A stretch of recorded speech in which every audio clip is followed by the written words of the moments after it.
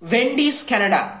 Pretzel Bacon Pub Triple Burger comes with three beef patties, beer cheese sauce, applewood smoked bacon, smoky honey mustard, crispy fried onions, Muenster cheese on a soft pretzel bun. Available right now in Wendy's Canada. And for a side dish, pub fries. And for a drink, freshly brewed coffee. And for a dessert, chocolate frosty. Now the pub fries have the similar set of ingredients as the pretzel bacon pub triple burger. So you're getting the you're getting the ingredients of the burger but in fries. For me that's a very delicious thing indeed. And a chocolate frosty is a typical Wendy's dessert indeed. Who doesn't like a frosty from the Wendy's? Come on, who doesn't like it?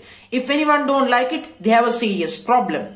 Then of course a freshly brewed coffee for me is always refreshing refreshing in my personal opinion because how can you go wrong? Coffee is delicious and fantastic in my opinion. So thank you very much for joining me on the show.